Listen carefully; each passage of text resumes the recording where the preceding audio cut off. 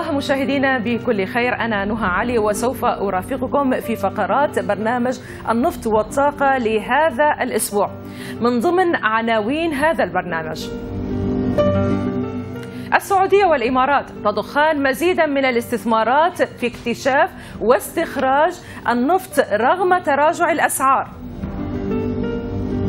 وروسيا مستعدة لمحاورة أوبك وسائر منتجي النفط لوضع حد لتدهور الأسعار ولماذا تتأخر مشاريع السعودية في الطاقة الشمسية؟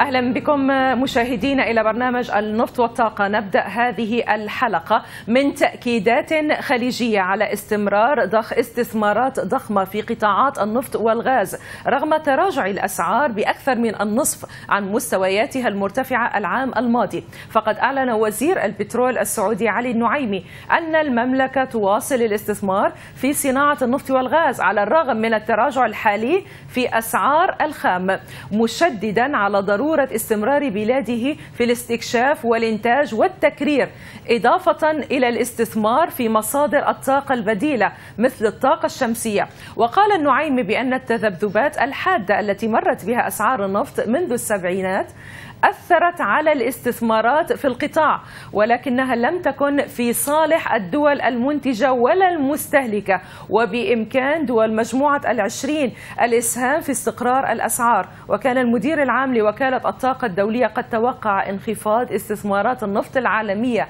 بعشرين في المئة هذا العام في أكبر تراجع لها على الإطلاق. أيضا تعتزم الإمارات زيادة استثماراتها في القطاع النفطي رغم تراجع أسعار الخام. وأكد وزير الطاقة الإماراتي سهيل بن محمد المزروعي بأن بلاده ماضية قدما في خططها لزيادة طاقة إنتاجها النفطي إلى ثلاثة ملايين ونصف المليون برميل يوميا بحلول العام 2017 وشدد المزروعي على أن بلاده سوف تستثمر 35 مليار دولار لتنويع موارد الطاقة الطاقة والحد من اعتمادها على واردات الغاز الطبيعي لتوليد الكهرباء إلى 70% بحلول العام 2021 وسوف توجه الاستثمارات الجديدة إلى الطاقة النووية ومشروعات الطاقة المتجددة. والإمارات هي أول دولة خليجية تشرع في بناء محطة طاقة نووية. يتوقع أن توفر 24% من احتياجيات البلاد بحلول العام 2020 ونستمر إذا بالشأن الخليجي حيث استبعد وزير النفط الكويتي علي العمير مشاركة منظمة الدول المصدرة للنفط أوبك في قمة اقترحتها فنزويلا لدعم أسعار النفط المتهاوية. وشدد العمير على أن لقاء أوبك المقبل سوف يكون في الاجتماع الوزاري المزمع في كانون الأول ديسمبر المقبل. وأضاف أنه لن يكون هناك أي مؤتمر قبل ذلك. وتحاول فنزويلا الدولة العضو في أوبك والتي تعتمد بشكل كبير على عائدات النفط إقناع الدول المنتجة للنفط بخفض إنتاجها لدعم أسعار النفط التي خسرت نحو 60% من قيمتها منذ حزيران يونيو الماضي.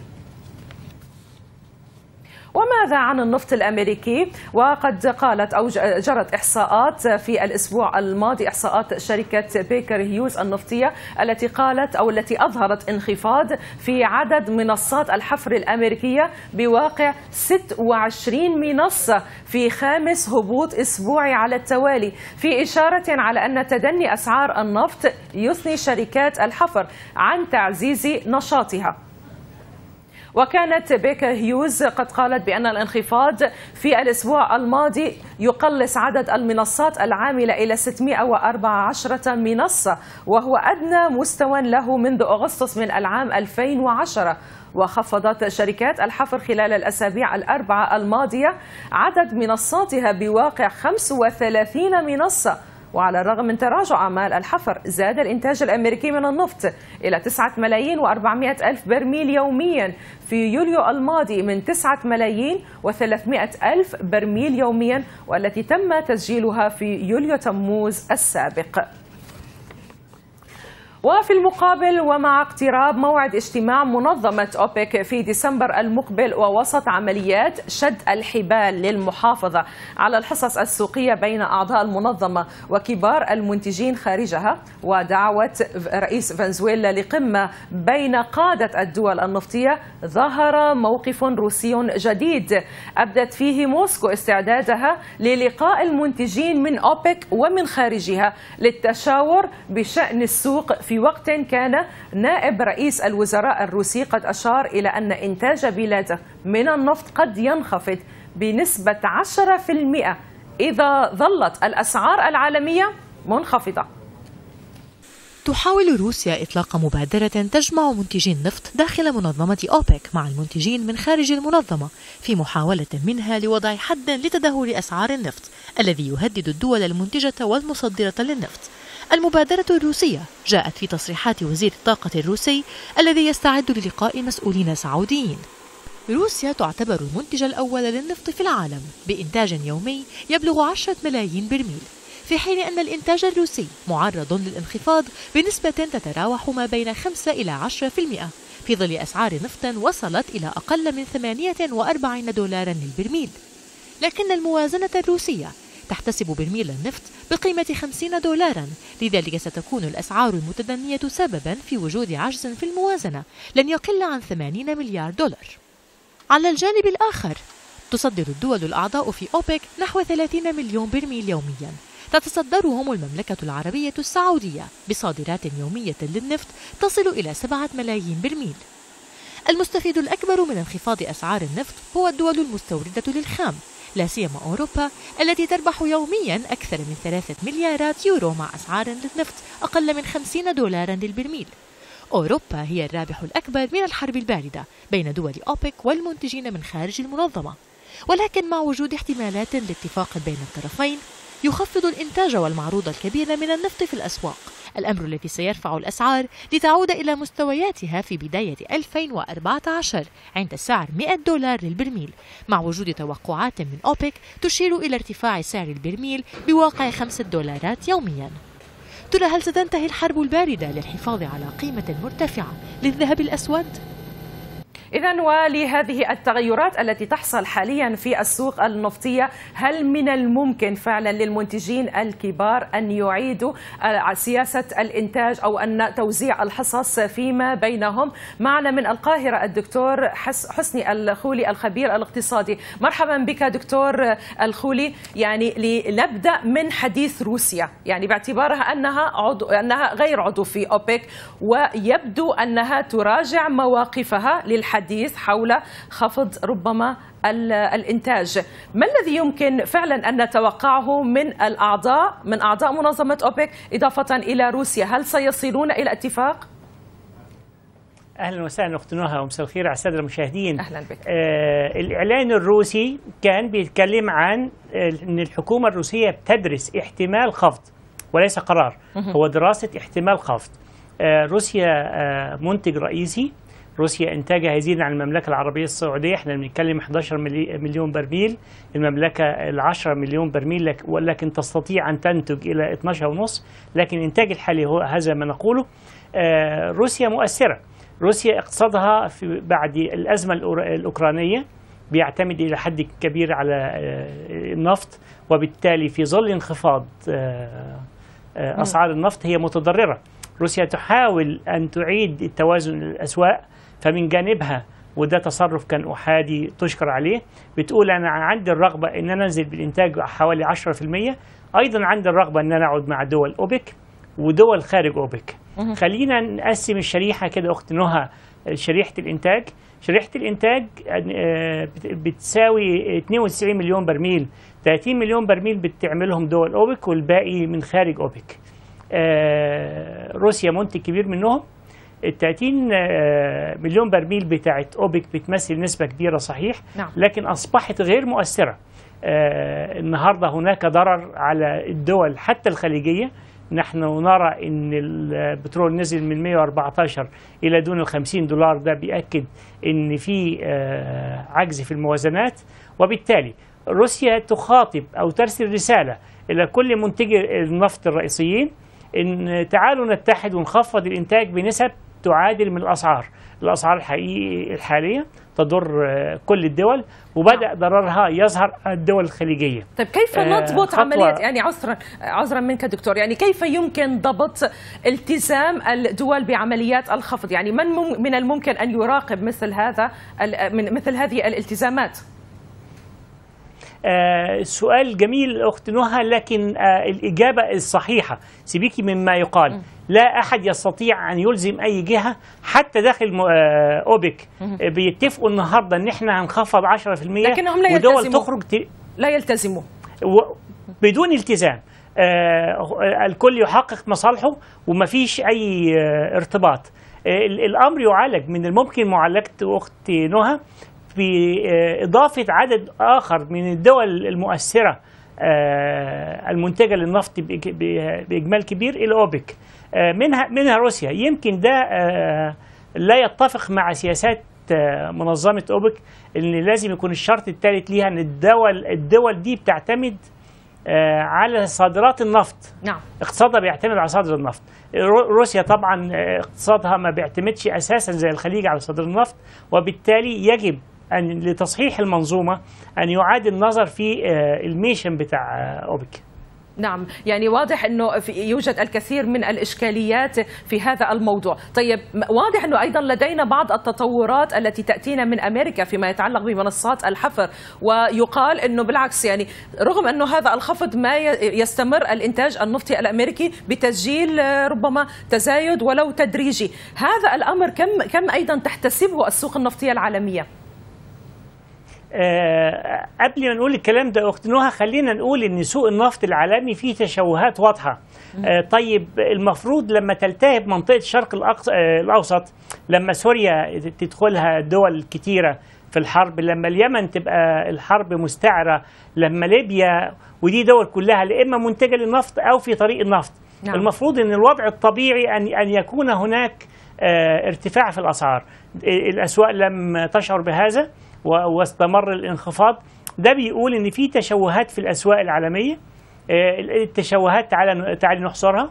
كانت أمريكا آه، آه، بالأمس أقصد في في الماضي القريب كانت من أكبر المستهلكين والمستوردين. النهارده نسبة الاستيراد الامريكي بيقل.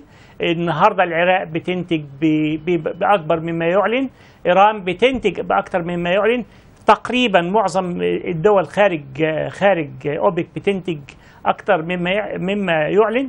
اللي بيقول بيأكد الكلام ده البواخر اللي عماله تجوب المحيطات لتخزين ال- ال- النفط الرخيص.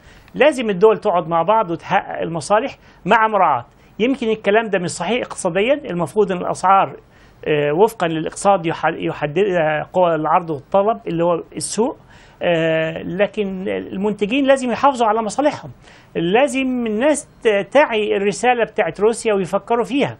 انخفاض 10% من كافة الدول هيرفع البترول من 70 إلى 75 دولار أختنا. نعم. أشكرك دكتور حسني الخولي الخبير الاقتصادي على كل هذه المعلومات. شكرا لك. التعدين والتنقيب عن النفط يهدد ثلث مواقع التراث العالمي الطبيعي بعد الفاصل في برنامج النفط والطاقة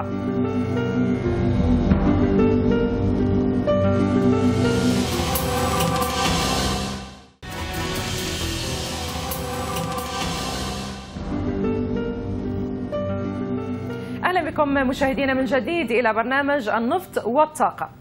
ارتفع إنتاج نفط أوبك في سبتمبر الماضي على أساس شهري مع تعافي صادرات شمالي العراق بعد تعطيلات أوقفت نمو الإمدادات العراقية حيث ارتفع معروض أوبك في شهر سبتمبر إلى حدود 31 مليون و680 ألف برميل يوميا من قراءة معدلة وصلت إلى 31 مليون و570 ألف برميل يوميا والتي كانت في شهر أغسطس وبزيادة وبزيادة المعروض هذا الشهر. تكون أوبك قد عززت الإنتاج بنحو مليون ونصف المليون برميل يوميا منذ تحولها في نوفمبر 2014 إلى حماية الحصة السوقية بدلا من سياستها السابقة بخفض الإنتاج لدعم الأسعار. في حين حافظت السعودية ومنتجون خليجيون آخرون على مستوى إنتاجهم شبه المستقر.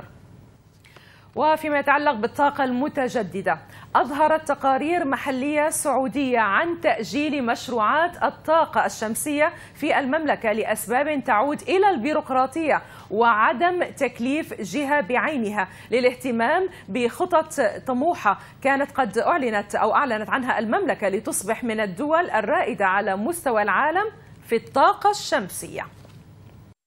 يعتبر استهلاك الكهرباء في السعودية من بين أكبر معدلات الاستهلاك العالمية وبنمو سنوي يشكل 8% سنويا.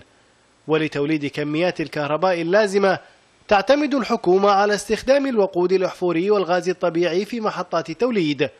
كل ذلك دفع المملكة إلى وضع خطط للاستفادة من مصادر الطاقة المتجددة وعلى رأسها الطاقة الشمسية. بالنسبة لقطاع الطاقة المتجددة بالسعودية اهتمام الحكومة تمثل في إنشاء آه، مدينة الملك عبد الله للطاقة النووية المتجددة آه، لتنظيم قطاع الطاقة المتجددة بالسعودية.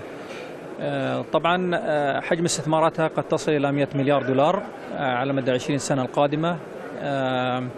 وسوف تكون الكميات بالنسبة للطاقة الشمسية في حدود 2 جيجا وات في السنة لمدة 20 سنة يعني يكون المجموع تقريبا بعد 20 سنة حوالي 54 جيجا وات هذه مهمة جدا بالنسبة للسعودية لأن بالنسبة لقطاع الطاقة الإنتاج الكهرباء يستهلكون تقريبا 50% من البترول لإنتاج الكهرباء خاصة في فصل الصيف.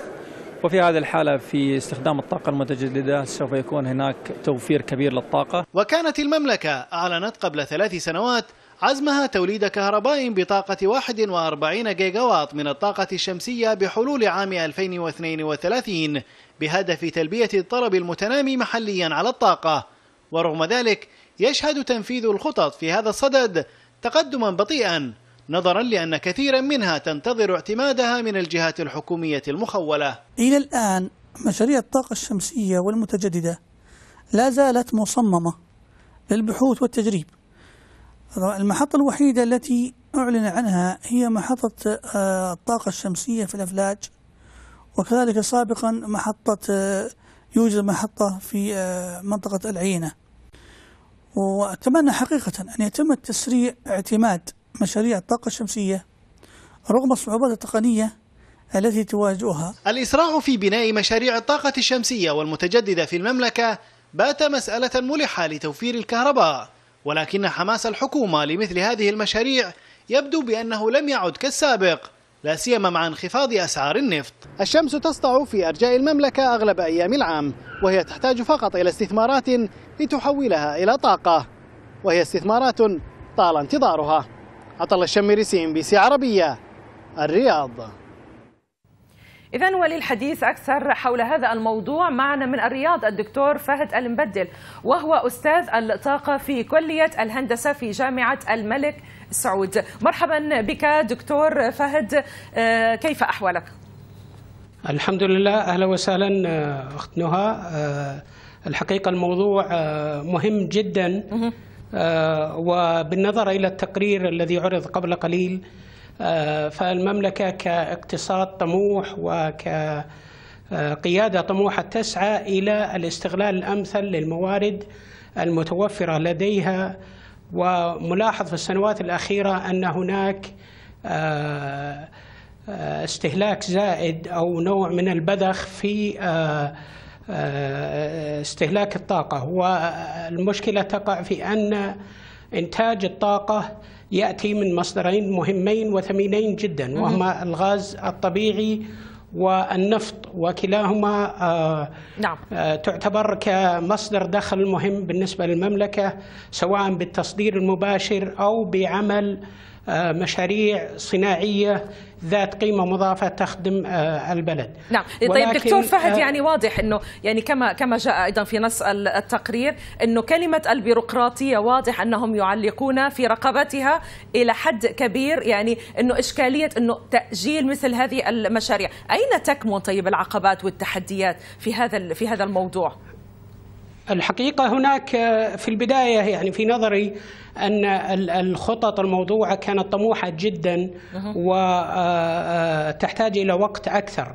بالإضافة إلى أن هناك يعني يجب في النهاية النظر إلى مسألة الطاقة كمسألة فرصة وليست مشكلة أو تحدي لأن توفير مصادر الدخل الأساسية مثل البترول والغاز الطبيعي سيوفر دخل إضافي للمملكة وفي نفس الوقت الدخول في مجال الطاقة البديلة سيوفر زيادة في الصادرات عبر زيادة الخدمات أو زيادة آه، بيع الطاقة إلى خارج المملكة ويوفر في الواردات لأنه قد نضطر في بعض الأحيان إلى استيراد الكهرباء في المستقبل آه، لا سمح الله. بالنسبة إلى الجهود التي عملت هي بدأت منذ بداية العقد آه، الحالي وهي جهود يعني جيدة ولا ولكن آه، لم تتسارع بالشكل المطلوب. إذ كان المتوقع أن يكون هناك 40% من إنتاج المملكة بالطاقة المتجددة والبديلة خلال عقدين من الزمان. آه، الآن هذا يبدو كأمر بعيد المنال. ما الحجم حاليا؟ ما النسبة حاليا؟ يعني إذا كنا 40% خلال عقدين حاليا ما هي النسبة التي تحققت؟ النسبة التي تحققت الآن أقل من 1% آه، أو يعني أقل من 2% بالتحديد. وهذا في نفس الوقت آه، يعني ليس عيبا ولكن بالنسبة لنا في المملكة يعني على سبيل المثال في الولايات المتحدة نسبة الطاقة المجددة المتجددة لا تصل إلى 1% لكن بالنسبة للمملكة يوجد لدينا فرص كثيرة للاستفاد من هذا الاتجاه واتجاه الطاقة المتجددة والبديلة. والمعول عليه بعد الله في يعني حل الإشكالية هذه هو مجلس الشؤون الاقتصادية والتنمية برئاسة سمو الأمير محمد بن سلمان الذي كذلك آه، ولي ولي العهد ووزير الدفاع الذي كذلك يرأس مجلس إدارة شركة أرامكو السعودية. فنجد أن الجهات الموجودة الآن تبذل جهود ولكنها جهود يعني لم ترقى آه، إلى المطلوب. والفرص كثيرة لتطوير وتنويع الاقتصاد. طيب دكتور فهد نعم. يعني حتى حت يعني خلينا مع إشكالية أيضا ربما تراجع أسعار النفط. كي هذه الجهود أين ستذهب؟ يعني هل ست يعني ستساعدهم أكثر أم بالعكس ست يعني ستحبط هذه الجهود أكثر؟ خصوصا أنه النفط يعني آه، كان مؤثر كبير على الإنتاج فوائد كبيرة للمملكة. آه، بالنسبة لل آه، لسعر النفط فلا شك أن له تأثير ولكن هذه خطة تعتبر خطط وطنية وتمس الاقتصاد الوطني فليس هناك تراجع عن هذه الخطط بسبب انخفاض أسعار النفط أو أو آه، غيره ولكن ربما تؤثر على اقتصاديات آه، إنتاج الطاقة نفسها.